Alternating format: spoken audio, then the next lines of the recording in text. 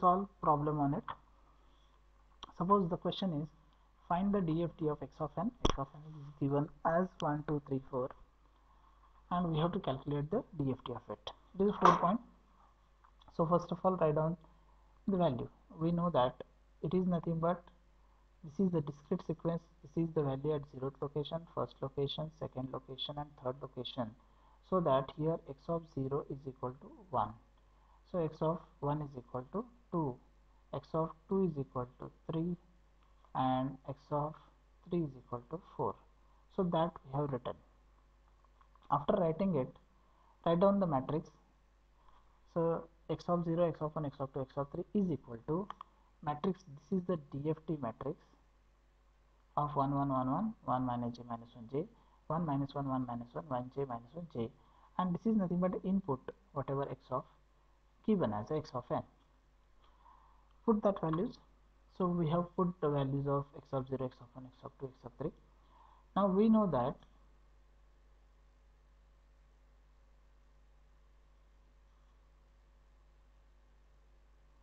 we know that the matrix multiplication is the row of this means first matrix should be multiplied with the column of second matrix. So each element first element it is multiplied with the first second with the second third with third fourth with fourth and, and there is addition. So that is nothing but the answer. So we will follow that particular method and it is nothing but the multiplication we have. It is nothing 1 into 1 then this 1 into this one plus 1 into 2 plus 1 into 3 plus 1 into 4 so that multiplication I have written with j and I have added this 1 into 1 1 2 3 4 means 4 plus 3 7 plus 2 1 plus 1 10 so answer is 10 if it is complex this is minus j multiplied minus 2 complex. This is complex multiplication this is complex.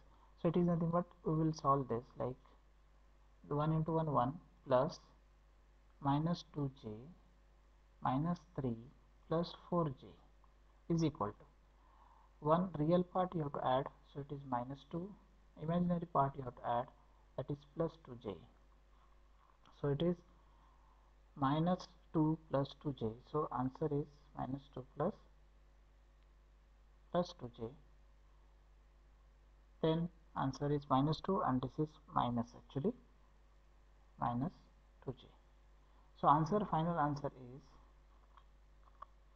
10 minus 2 plus 2j minus 2 minus 2 minus 2j you should write it so this is nothing but DFT of any sequence so sequence can be given any so by using that matrix multiplication you have to calculate the DFT it now after finding DFT we will move towards inverse of DFT for calculation of inverse, the matrix is somewhat modified. The values of j are interchanged. So this j here it was minus j in DFT. So just sign of j will be changed in inverse and multiplication by 1 by 4.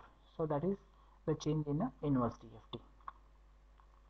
Suppose x of k is given as 10 means this is the DFT actual DFT is given 10 minus 2 plus 2j minus 2 minus 2 minus 2j and we have to calculate the inverse of it so we'll write in this format x of 0 so here now it is time domain and time domain uh, and this is the frequency domain capital X of k. So in, for time domain you should use small letters of representation and for frequency you should use the capital letters. So put that values.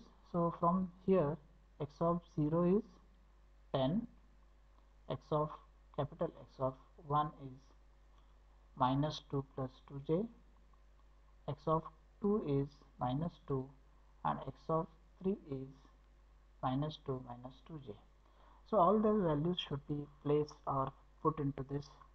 So I have placed. Now find out the multiplication. Whole this multiplication.